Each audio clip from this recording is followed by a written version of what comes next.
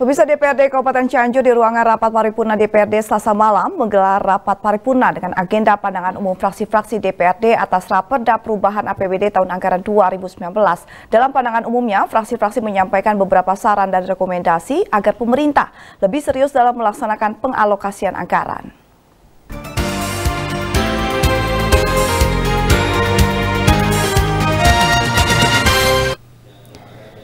Dengan dipimpin langsung Wakil Ketua DPRD Kabupaten Cianjur, Dede Nasihin, sidang paripurna dengan agenda pandangan umum fraksi-fraksi atas Raperda Perubahan APBD tahun anggaran 2019 digelar selasa malam.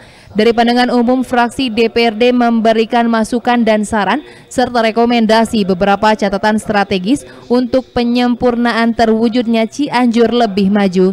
Di antaranya, pandangan umum dari perwakilan fraksi Demokrat kepada tim anggaran pemerintah daerah harus konsisten terhadap hasil pembahasan kebijakan umum dan prioritas plafon anggaran. Sedangkan perubahan APBD yang telah disepakati bersama yaitu jumlah pendapatan daerah sebelumnya sebesar 3,514 triliun yang direncanakan menjadi 4,045 triliun. Perencanaan tersebut mencakup di antaranya PAD mengalami peningkatan 50,939 miliar, Selanjutnya dana perimbangan bertambah 5,505 miliar dan lain-lain.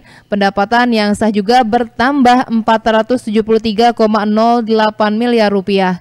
Menurut fraksi Partai Hati Nurani Rakyat, dengan adanya perubahan alokasi anggaran, tentunya pemerintah daerah harus lebih serius dan konsisten dalam pelaksanaan perubahan APBD tahun anggaran 2019.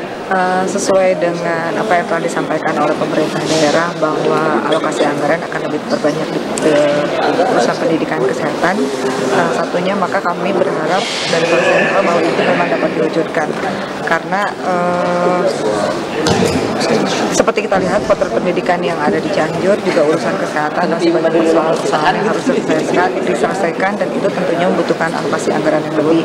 Maka kami berharap mudah-mudahan pemerintah memang serius dan konsisten dengan apa yang sudah ditetapkan uh, mengenai urusan kesehatan dan pendidikan. Semoga anggaran tersebut bisa mencukupi untuk melakukan perubahan di bidang dua bidang tadi secara uh, lebih signifikan lagi, terutama untuk memberikan pelayanan kepada masyarakat karena urusan pendidikan dan kesehatan itu merupakan salah satu pelayanan mendasar yang memang menjadi tanggung jawab pemerintah daerah kabupaten.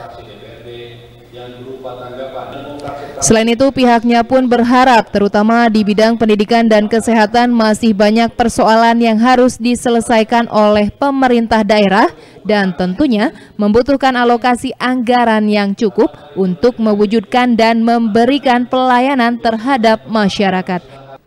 Yang terhormat, Saudara Heri Setiawan, Bandung TV. Analisa dan musyawarah anggota fraksi Partai Demokrat.